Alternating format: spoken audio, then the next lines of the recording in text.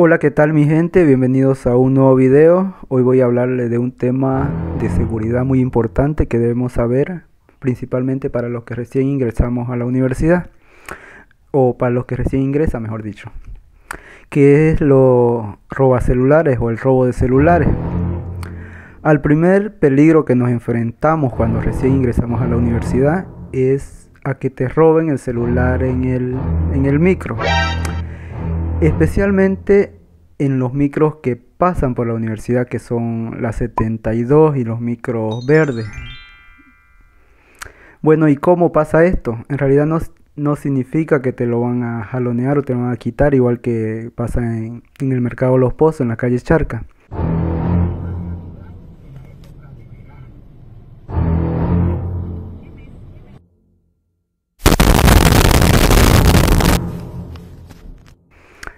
Aquí ya es algo más trabajado, más estructurado, porque trabajan en equipos estas personas que roban.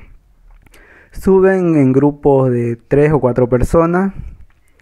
Te, una persona se queda en la puerta, abre, abre tu mochila, la otra lo saca y lo pasa a su, a su cómplice. Como te digo, trabajan en cuatro o cinco personas a veces. Y una vez que te sacan el celular, tú te das cuenta porque es algo que se siente. Y, y, y un, una de sus cómplices de ella te dice, fue tal persona, para hacerte bajar del micro. La intención de esto es que tú bajes del micro. Así que esa persona que supuestamente te avisa de que, que te sacaron el celular es cómplice y sabe porque ha pasado el celular de mano en mano. Y la cosa es hacerte bajar del micro y una vez te bajas ya ellos siguen su trayecto.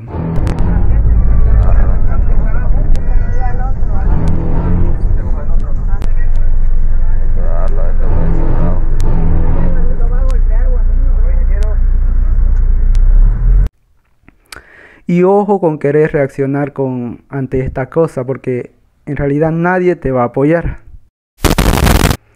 Y si por, reaccionas, por alguna razón reaccionas mal, este, te pueden agredir, porque como te digo, son personas que trabajan en grupo. Así que hay algo que tener en cuenta y saber cuidarse. Otra de las formas que usan para robarte es esperar a que pase el puente, de que estés solo. Esto pasa mayormente las personas que agarran materia tarde la noche o en un lugar donde no hay mucho tránsito. Como el puente se puede ver a, desde abajo a simple vista quién sube y quién baja, lo que hacen es esperarte al otro lado. Y simplemente lo que hacen es pedirte el celular y si no accede pues te, te agreden o te amenazan con cuchillo o con lo que ellos tengan. Así que hay que tener mucho cuidado en esto. Y otra forma que hacen, otra estrategia que usan para robar es que aparece alguien, te ven sentado, por ejemplo, no te aconsejo que te sientes sola en las banquetas que están cerca de la universidad o fuera, que estés un momento a solas, porque se te va a aparecer alguien y te va a decir que vos le robaste el celular. Y tú inocente le vas a decir, no, este es mi celular. Y por casualidad va a aparecer una persona desconocida y te va a hacer que tú le des el celular que supuestamente robaste. Y en realidad esto, están trabajando en complicidad. Todo está bien armado. Y es una forma que usan para, para robarte el celular igual.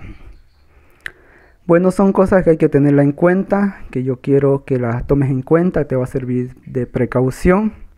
Ese sería el video del día de hoy y si por si puedes contar alguna experiencia de alguien que le haya pasado, la deja aquí en los comentarios para que todos sepamos.